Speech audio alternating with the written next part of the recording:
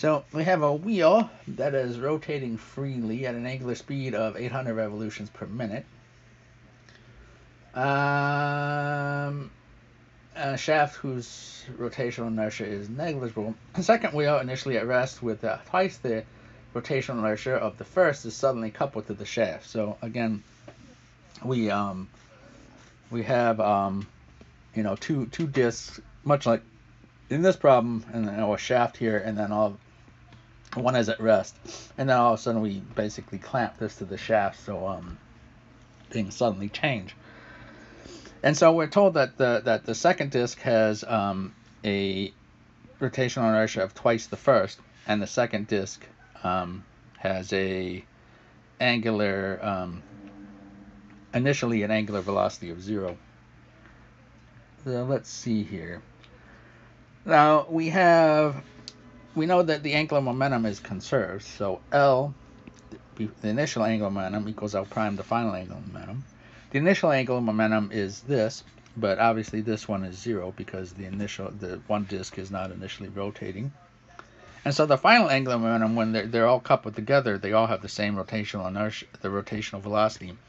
So then, obviously this turn, the, uh, you know, j omega prime plus 2j omega prime, we get this. And so we can solve for omega prime, and we just get, um, it is omega 1, the angular momentum uh, the angular velocity initially of the one disk um, over 3. And again, because, you know, going from, um, um, I should actually, yeah, I, should actually, I should call this F. So in going from angular, from RPM to radians per second, um, there's just the factor. So that factor um, is uh, cancels out in this expression here. So we can say that f prime equals one third of f, which means f prime is 267 RPM. Um, now, you know, changing it to um, radians per second, we just get this factor again that I said cancels out going from here to here of 2 pi over 60. And so that's um, winds up being the angular velocity in radians per second is 27.8 radians per second. And whenever you're going from RPM to radians per second, a good kind of uh, just first guess is that th this thing here is roughly um, one tenth, right? So 2 pi over 60 is, is roughly one tenth. Um, so you could expect that, you know, basically one tenth is uh, a factor of one tenth as you go from RPM to radians per second.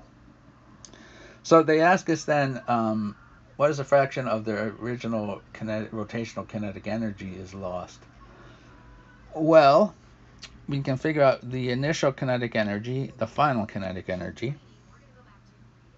So this is the change. So the the percent change, or the um, yeah the fractional change. So the initial minus the final all over the initial. Plugging everything in, and lots of stuff cancels out here. Okay. Um, and we also use this expression here. And so we wind up with, this just winds up being two-thirds. So we have two-thirds of the kinetic energy as we did to start. So how much was lost? Well, that means one-third of it was lost. Um, so we have the kinetic energy that's lost, um, or the, the, the um, fraction of kinetic energy lost, and I should put this over T, um, is one-third. Right? So we lost a third of the, our kinetic energy in um, when we coupled this second disk to the first.